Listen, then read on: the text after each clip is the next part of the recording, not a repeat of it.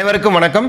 பத்தாம் வகுப்பு அறிவியல் பாடம் ஒன்பது கரைசல்கள் பற்றி போன வீடியோவில் பார்த்துருந்தோம்.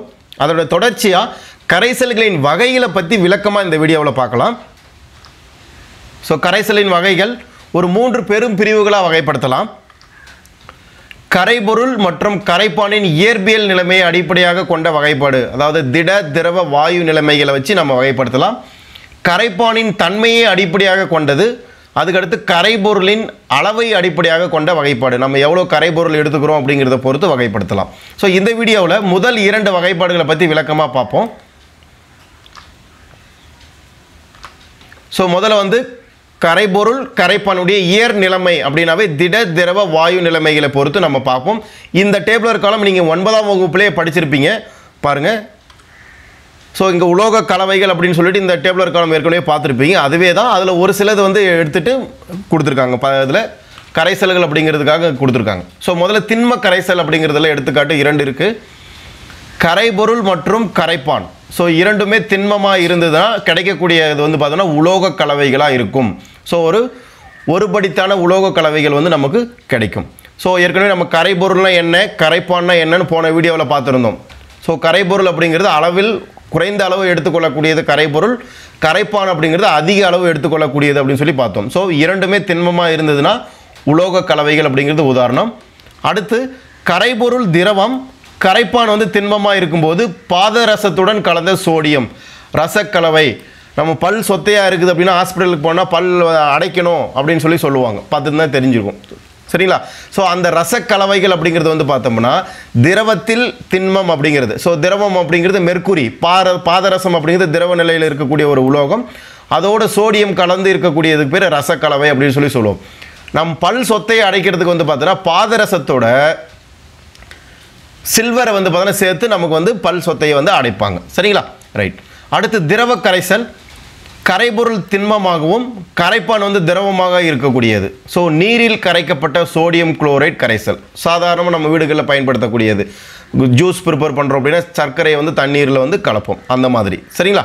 ரைட் அடுத்து இரண்டுமே திரவம். திரவத்தில் திரவம் அப்படின்னு சொன்னோம் அப்படின்னா நீரில் கரைக்கப்பட்ட எத்தில் ஆல்கஹால். ஸோ ஆல்கஹால் வந்து நீரில் கரைச்சோம் அப்படின்னா ஒன்றோடு ஒன்று முழுமையாக கரைஞ்சி விரவப்படும். சரிங்களா? ரைட் அடுத்து வாயு திரவம். கரைபொருள் வாயு அதாவது குறைந்த அளவு இருக்கும்.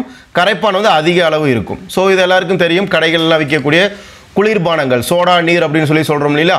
ஸோ நீரில் கரைக்கப்பட்ட கார்பன் டை ஆக்சைடு ஸோ அதில் கார்பன் டை ஆக்சைடு வந்து பார்த்தீங்கன்னா அதிக அளவு அழுத்தத்தை கொடுத்து அங்கே திரவமாக வந்து மாற்றி வச்சுருப்பாங்க. சரிங்களா? ஸோ அது அதுக்கான எடுத்துக்காட்டு. அடுத்து வாயு கரைசல். ஸோ கரைபொருள் திரவமாகவும் கரைப்பான் வந்து வாயுவாகவும் இருக்கக்கூடியது. காற்றில் உள்ள நீராவி மேகம் மலை மேகங்களை வந்து பார்த்தோம்னா நம்ம இதுக்கான எடுத்துக்காட்டாக சொல்லலாம். அடுத்து வாயுவில் வாயு. இரண்டுமே வாயு. கரைபொருள் கரைப்பான் இரண்டுமே வாயுவாக இருக்கக்கூடியது. ஹீலியம் ஆக்சிஜன் வாயு கலவை ஸோ இந்த ஹீலியம் ஆக்சிஜன் வாயு கலவை அப்படிங்கிறது வந்து எங்கே பயன்படுத்துவாங்க அப்படின்னா கடலில் ஆழ்கடலில் வந்து முத்துக்குழி போக்குவரத்து ஆராய்ச்சி ஈடுபடக்கூடியவங்க எல்லாமே வந்து பார்த்தோன்னா சுவாசிக்கிறதுக்காக சிலிண்டர் எடுத்து வச்சு பின்னாடி வச்சுருப்பாங்க. பார்த்துட்டீங்க தெரியும். ஸோ அதில் இருக்கக்கூடியது. ஆக்சிஜன் ஹீலியம் வாயு கலவை ஹீலியம் எதுக்காக சேர்த்துறாங்கன்னா அதனுடைய எடை ரொம்ப ரொம்ப குறைவு. இன்னொன்று வந்து இது ஆக்சிஜனோடு சேர்ந்து வந்து என்ன ஆகுதுன்னா சேர ஒன்றோட ஒன்று சேராது. ஸோ அதனால் வந்து சுவாசிக்கிறதுக்கு வந்து எந்த தடையும் இருக்காது. சரிங்களா? ரைட் ஸோ இது மேலே பார்த்தீங்கன்னா இருமடி கரைசல் அப்படின்னு சொல்லி கொடுத்துருப்பாங்க. சரிங்களா? ஏன் இருமடி கரைசல் அப்படின்னா ஒரே ஒரு கரைபொருள் ஒரே ஒரு கரைப்பான். இரண்டு பகுதி கூறுகளை கொண்டிருப்பதனால் இதுக்கு பேர் இருமடி கரைசல்கள் அப்படின்னு சொல்லி சொல்கிறோம் சரிங்களா? ஸோ முதலாவது வகைப்பாடு கரைபொருள் மற்றும் கரைப்பானுடைய இயர் நிலைமையின் அடிப்படையில் கிடைக்கக்கூடியது. ஸோ இதெல்லாம் வந்து ஒரு மதிப்பெண் வினாவில் சரியான இணை தவறான இணையை தேர்ந்தெடுக்க அந்த மாதிரியான வினாக்களில் வந்து பார்த்தா கண்டிப்பாக கேட்பாங்க. சரிங்களா? ஸோ திண்மத்தில் திண்மம். அதுக்கான எடுத்துக்காட்டு என்ன? மாற்றி கூட கொடுத்துருப்பாங்க. இல்லைனா டூ மார்க் கொஷனில் ஒரு நான்கு கரைபொருள் கரைப்பானுடைய அந்த நெய்யர் நிலைமைகளை கொடுத்து அதுக்கான எடுத்துக்காட்டு எழுத சொல்லுவாங்க. ஸோ அதனால் இது முக்கியமான ஒரு டேபிளர் காலம். கட்டாயம் தேர்வில் எதிர்பார்க்கலாம். ஸோ படிச்சுக்காங்க. சரிங்களா? அடுத்த வகைப்பாடு பார்க்கறதுக்கு முன்னாடி ஒரு சின்ன டாபிக் உலகளாவிய கரைப்பான் அல்லது சர்வ கரைப்பான் அப்படின்னு சொல்லி ஒரு கரைப்பானை நம்ம சொல்லுவோம். அதை பற்றி பார்ப்போம். நீரைத்தான் வந்து பார்த்தீங்கன்னா சர்வ கரைப்பான் அல்லது உலகளாவிய கரைப்பான் அப்படின்னு சொல்லி சொல்கிறோம் அதுக்கான காரணம் என்னென்னா நீரில் பெரும்பாலான பொருட்கள் கரைகிறது. ஸோ நான் நீரில் வந்து பார்த்தீங்கன்னா நம்ம பயன்படுத்தக்கூடிய பொருட்கள் நிறைய வந்து அதில் கரையக்கூடிய தன்மையின் காரணத்தினால உலகளாவிய கரைப்பான் அல்லது சர்வ கரைப்பான் என்று அழைக்கப்படுகிறது. ஒரு மதிப்பெண் வினாவில் கேட்கலாம். ஸோ ஞாபகம் வச்சுக்கோங்க. சரிங்களா? ஆனால் நீர் மட்டுமே வந்து ஒரு கரைப்பான நம்ம வந்து அன்றாட வாழ்க்கையில் பயன்படுத்துறது கிடையாது. ஏன்னா ஒரு சில பொருள்கள் நீரில் கரைவதில்லை. ஸோ அதை கரைப்பதற்கு வேறு சில கரைப்பான்களை நம்ம பயன்படுத்துகிறோம் சரிங்களா? ரைட் ஸோ பார்த்தோன்னா ஈத்தர்கள் benzene alcohol toluene carbon tetrachloride. So இந்த மாதிரியான வேறு சில கரைப்பான்களை பயன்படுத்தியும் நம்ம கரைசல்களை தயாரிக்கலாம். ஸோ அடுத்த வகைப்பாடு பார்த்தோம்னா கரைப்பானின் வகைகளை அடிப்படையாக கொண்டு கரைசல்களை இரண்டு வகையாக பிரிக்கலாம். என்ன அப்படின்னா ஸோ இது வந்து பார்த்தோம்னா உலகளாவிய கரைப்பான் அப்படிங்கிறதுக்கான ஒரு எடுத்துக்காட்டு. நம்ம அன்றாட வாழ்க்கையில் பயன்படுத்தக்கூடியது பெரும்பாலும் நீரில் கரையக்கூடியவை. ஸோ இதெல்லாம் வந்து நம்ம நீரில் வந்து கரையக்கூடியது அப்படிங்கிறதுக்கான ஒரு விளக்கம்.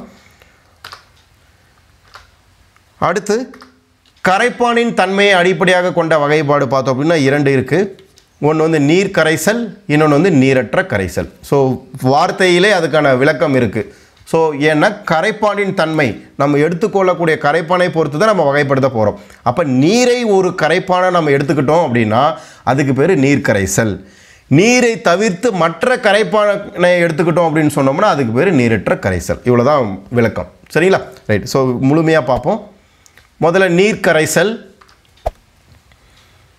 எந்த ஒரு கரைசலில் கரைபொருளை கரைக்கும் கரைப்பானாக நீர் செயல்படுகிறதோ அக்கரைசல் நீர் கரைசல் ஸோ நம்ம எடுத்துக்கொள்ளக்கூடிய கரைபொருளை வந்து கரைக்கிறதுக்கு நீரை வந்து ஒரு கரைப்பானாக எடுத்துக்கிட்டோம் அப்படின்னா அந்த கரைசலுக்கு பேர் நீர் கரைசல் சரிங்களா? ஸோ உதாரணமாக நீரில் கரைக்கப்பட்ட சர்க்கரை நீரில் கரைக்கப்பட்ட காப்பர் சல்பேட் இந்த மாதிரி நிறைய விளக்கங்கள் உதாரணம் கொள்ளலாம். ஸோ பாருங்கள் உப்பு ப்ளஸ் நீர். ஸோ இப்போ இதில் வந்து நீர் வந்து ஒரு கரைப்பான். சர்க்கரை ப்ளஸ் நீர். ஸோ இதில் வந்து நீர் ஒரு கரைப்பான். காப்பர் சல்பேட் ப்ளஸ் நீர். இதில் ஒரு நீர் வந்து ஒரு கரைப்பான். ஸோ இந்த மாதிரி நீரை வந்து ஒரு கரைப்பானை நம்ம பயன்படுத்தி கரைசல் தயாரித்தோம் அப்படின்னாவே அது வந்து நீர் கரைசல் அப்படின்னு சொல்லி சொல்லலாம். சரிங்களா? ரைட் அடுத்து நீரற்ற கரைசல். இது அப்படியே ஆப்போசிட் நீரை தவிர்த்து பிற எந்த ஒரு கரைசலில் நீரை தவிர பிற திரவங்கள் கரைப்பானாக செயல்படுகிறதோ அக்கரைசல் நீரற்ற கரைசல் என அழைக்கப்படுகிறது. ஸோ நீரை தவிர வேறு என்னெல்லாம் கரைப்பானை பயன்படுத்தலாம் அப்படின்னா ஆல்கஹால் பென்சின் ஈத்தர்கள் கார்பன் டை சல்ஃபைடு சிஎஸ் டூன்னு அதனுடைய ஃபார்முலா கார்பன் டெட்ராக்ளோரைட். ஸோ இந்த மாதிரி வந்து நிறைய வந்து நீரற்ற கரைப்பான்களாக வந்து நம்ம பயன்படுத்தலாம். உதாரணமாக கார்பன் டை சல்ஃபைடில் கரைக்கப்பட்ட சல்ஃபர் கார்பன் டெட்ராக்ளோரைடில் கரைக்கப்பட்ட அயோடின் அப்படிங்கிறது விளக்கமாக கொடுத்துருக்காங்க. ஸோ அதுக்கான எடுத்துக்காட்டு பாருங்கள் ஸோ சல்ஃபரை வந்து நம்ம கார்பன் டை சல்ஃபைடு அப்படிங்கிற கரைப்பானில் சேர்த்து கரைச்சி நம்ம வந்து ஒரு நீரற்ற கரைசலை வந்து தயாரிக்கலாம். அதே மாதிரி அயோடினை வந்து பார்த்தீங்கன்னா கார்பன் டெட்ராக்ளோரைடு சிசிஎல் ஃபோர் அப்படின்னு சொல்லி சொல்லுவோம். ஸோ அதில் வந்து நம்ம கரைச்சி கரைசலாக வந்து நம்ம பெற முடியும். ஸோ இரண்டாவது வகைப்பாடு கரைப்பானின் தன்மையை பொறுத்து வகைப்படுத்தணும் நீர் கரைசல் நீரற்ற கரைசல். ஸோ நீரை வந்து பார்த்தீங்கன்னா ஒரு கரைப்பானாக நம்ம எடுத்துக்கிட்டோம் அப்படின்னா அதுக்கு பேர் நீர் கரைசல் அதுவே நீரை தவிர பிற கரைப்பான்களை நம்ம எடுத்து நம்ம வந்து கரைசல் தயாரித்தோம்னா அதுக்கு பேர் நீரற்ற கரைசல் அப்படின்னு சொல்லி சொல்லுவோம். சரிங்களா? ஸோ இந்த வீடியோவில் கரைசலினுடைய வகைகள் இரண்டு விதமான வகைகள் விளக்கமாக பார்த்துருக்கோம்.